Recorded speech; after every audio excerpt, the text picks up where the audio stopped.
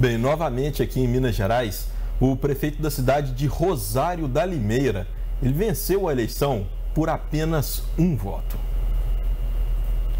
A disputa pela Prefeitura de Rosário da Limeira, na região da Zona da Mata, foi definida por apenas um voto de diferença.